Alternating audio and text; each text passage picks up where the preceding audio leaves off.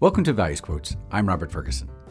Today's quote is from Karl Wilhelm Friedrich Schlegel, a poet, scholar, and leader of German Romanticism in the late 1700s. A thought provoking quote from Schlegel is Witty inspirations are the proverbs of the educated. I think there's some fun irony in a witty saying about witty sayings.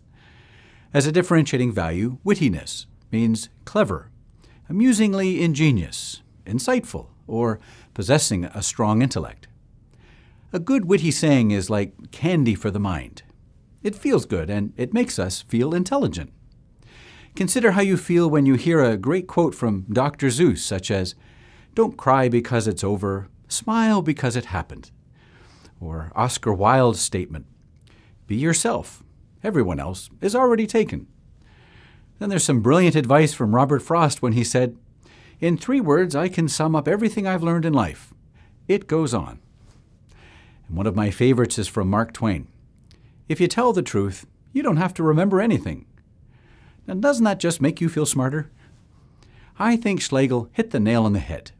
We all love witty inspirations because they not only make us feel smarter, it confirms a truth. And the truth will set you free.